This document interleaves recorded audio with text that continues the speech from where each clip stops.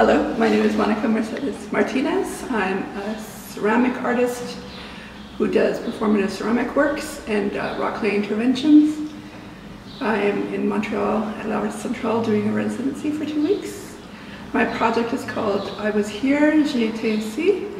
Um, it's a three-part project.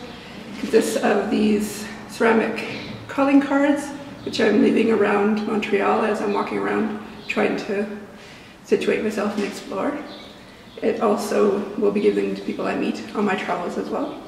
Another part of it is rock clay pressings of buildings that I encounter, either historically significant or ones that really catch my own aesthetic. Um, so I will leave a sort of ceramic graffiti. It leaves a stain of red behind on the buildings that I've uh, impressed. So it's another way of marking my travels through the spaces. Uh, and then the last part will be writings about my adventures, as I get lost a lot, um, through the city. And there'll be writings on paper on the walls, and I invite people to come to La Centrale and visit me, pick up some cards and take them to their own spaces as well.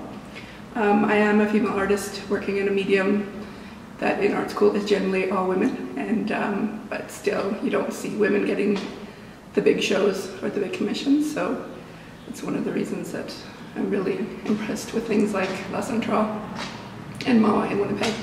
It helps give women, you know, a voice and a space and to be seen. So, thank you.